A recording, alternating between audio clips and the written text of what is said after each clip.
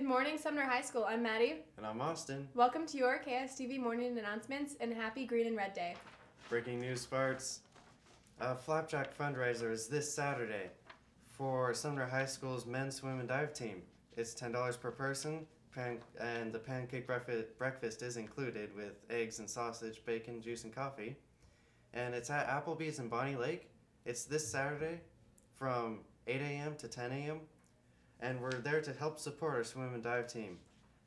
Coach Bennett would really appreciate it if you could buy tickets, and they'll also be available at the door.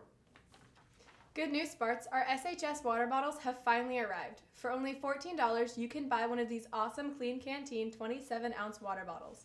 There's a very limited supply of these, so buy them as soon as you can. And now to Trey with the weather. Morning, Sparts. I'm Trey with the weather. After the snowflakes last night, things remain quiet but cold. Today's high will be 39 with a low of 26.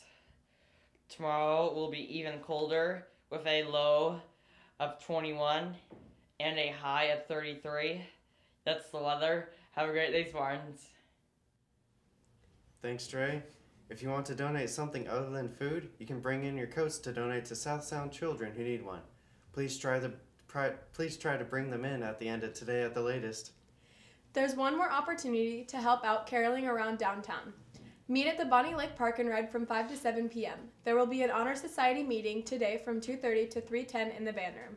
New inductees, please plan to attend. Now let's check in with Elijah with the history of the holidays. Panchaganapati is a five-day Hindu festival celebrated between December 21st and December 25th.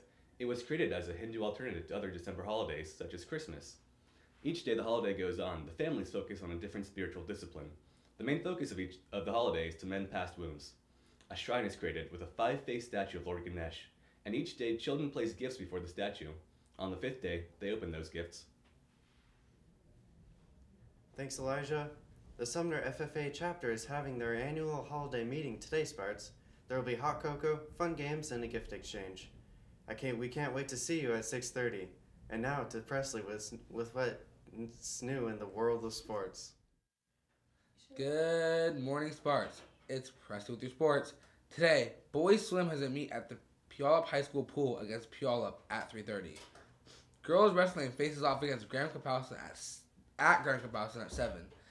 Tomorrow, boys basketball plays against Curtis. C team plays at 5:30. JV plays at 5:30 in Gym B, and varsity plays at 7. Girls basketball has a home game tomorrow against Curtis. C team plays at 4, JV plays at 5.30, and varsity plays at 7.